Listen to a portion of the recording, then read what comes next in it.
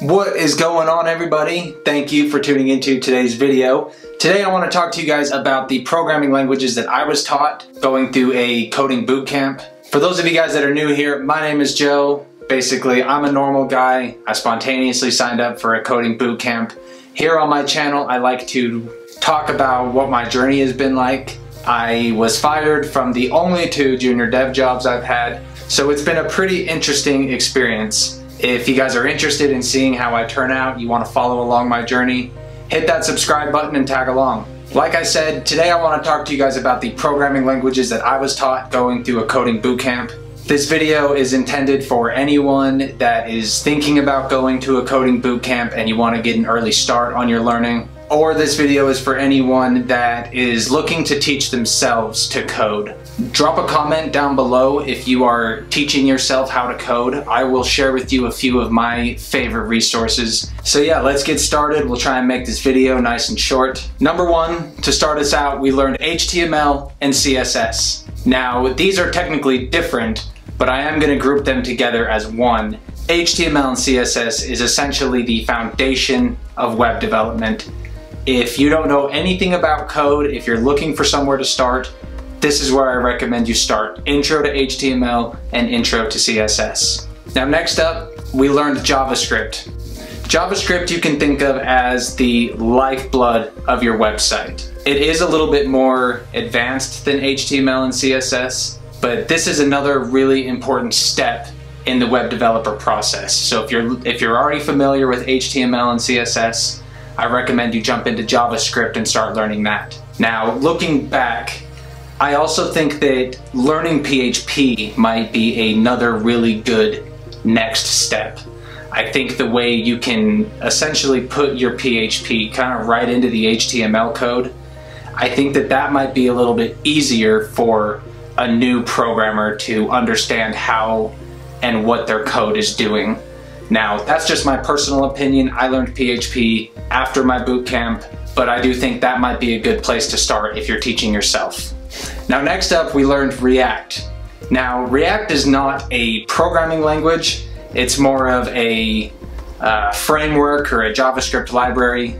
It's kind of like JavaScript and HTML put together.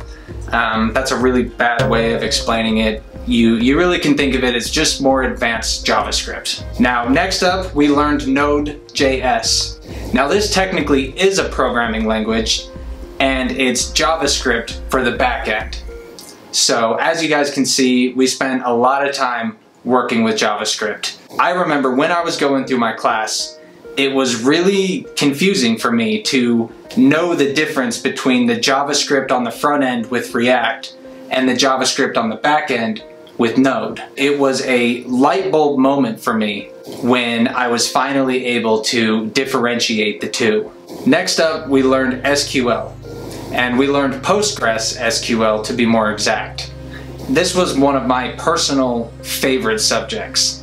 Before my coding bootcamp, I really didn't know much about databases, and by much, I mean I knew nothing at all.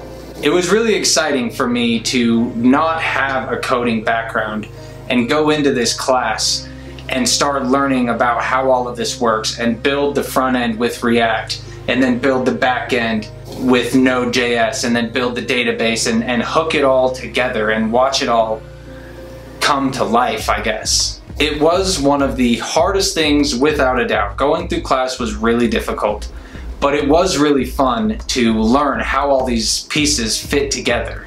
Now, I do want to say these are the things that I was taught going through a coding boot camp, but I don't necessarily want to say I know these things. Sure, I know them on a fundamental level, but there really is a lot more to it than that. And a lot of what I learned at this coding boot camp, I don't even use in my day-to-day -day life anymore, and that's to be expected. I don't use any frameworks, I hardly use database stuff. I pretty much just use HTML, CSS, and JavaScript these days. So what you learn at your bootcamp, you may not be using at your job, and that's to be expected. Starting in 2021, I'm going to document my process of starting my web design agency So if you guys know a thing or two about websites already and you are interested in seeing the kind of websites that I'm building, designing, and selling to clients, consider subscribing to my channel. I think I'm gonna have a lot of really good content coming out. Right now I'm doing my agency part-time, so it'll be easy for me to document, but I'm hoping throughout the year I'll be able to move into it full-time. So thank you guys for watching and I'll catch you guys on the next video.